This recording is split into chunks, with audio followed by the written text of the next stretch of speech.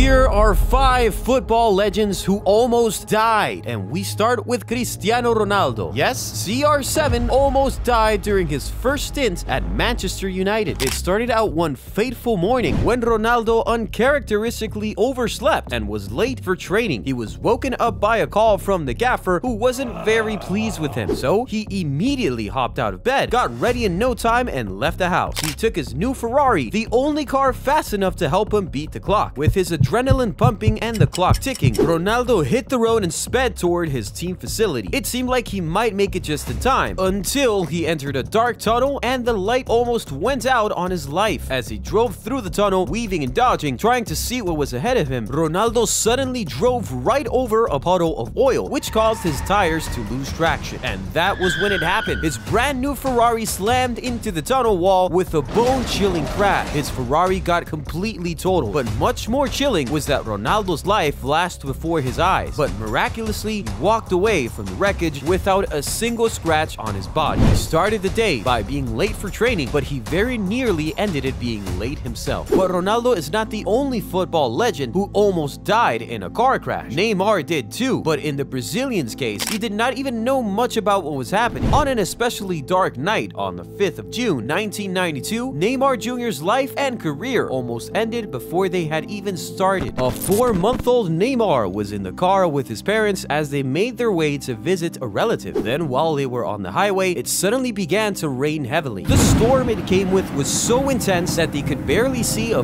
few feet in front of them. They were so anxious to quickly reach their destination safely before the storm got worse, but unfortunately, that didn't happen. Neymar's father was the one driving, and he was really struggling to see. Then, boom, out of nowhere, all he could see was bright lights, which was quickly followed by a crash. A car appeared out of nowhere, and despite Neymar Sr.'s last-ditch efforts to swerve out of the way, the two cars collided, and the sound of metal crushing against metal was deafening. Neymar Sr.'s hip bone was dislocated, and he was in excruciating pain. As he tried to regain his bearings with his wife side by side, he realized that his son was nowhere to be found. Panic set in, and his heart raced faster than ever before. The storm showed no mercy as the couple frantically searched for their missing son. The sound of the rain pounding against the car made it almost impossible to hear anything else. But then they managed to hear a faint cry coming from the car. They traced the sound and it led them to where Neymar was, under the front seat of the car. He was crying, bleeding, and had a shard of glass embedded in his forehead. But at last he was alive and that was all that mattered to his parents. Relief washed over them. They quickly got him out and rushed him to the hospital. He was alright eventually, and even though he may not have clear recollections about this very event, Neymar Jr. very nearly lost his life that but near-death experiences don't always come in the form of accidents. In Thiago Silva's case, it was a disease that very nearly took him from us. Back in 2005, when he was just 21 years old and on a loan from Porto to Dynamo Moscow, Thiago Silva was diagnosed with tuberculosis, a rare bacterial infection which nearly sucked the life out of him. He was in Russia, happy and putting in work every day to develop his career, but little did he know that he was dying inside. At first, he felt alright, but eventually he began to feel it High fever, constant coughing, and sweating were his initial symptoms, but soon he lost his ability to walk, and even breathing became a problem. He was rushed to the hospital, and the doctor said it was tuberculosis. He was in the hospital for a whole six months, and the center back said he would be given three or four injections every day, along with about 10 to 15 pills. But even with everything, Silva did not immediately get better. And you know what was even more scary? The doctors told him that he could have died if he was brought to the hospital just two weeks later. That's that's how bad it was. He was in a small hospital room for six months trying to recover. The room didn't even have a toilet, just a hole in the floor. During this period, Thiago Silva made the decision to permanently retire from football at his young age. He didn't believe he would survive this, and even if he did, he didn't think he would ever return to the level of fitness required for professional football again. He had already given up, but his mother persuaded him to keep fighting. And he did. Although long and grueling, Silva made a miraculous journey to recovery. After recovering, his journey back to fitness fitness started, first with half-hour walks every morning, then followed by jogging. Eventually, he got better and was ready to play professional football again. He was signed for the second time by his coach at Fluminense, and once again became an important player before going on to be the legend we all know and love. But all that could have been a dead dream in 2005. But two years before that, it was Ibrahimovic who nearly died. In the world of football, only very few players can match the ferocity of Zlatan Ibrahimovic. He strikes fear into the hearts of his opponents and sometimes sometimes even his teammates. But there was a time when even Zlatan himself was scared for his life, and it wasn't on the pitch. During his time at Ajax, a young Zlatan formed a deadly partnership with Egyptian forward Ahmed Hossam Hussein, better known as Mido. The two were unstoppable and a force to be reckoned with in their first season together, but in the second season, everything changed. Mido was relegated to the bench whilst Zlatan remained favorite, and Mido didn't take it well,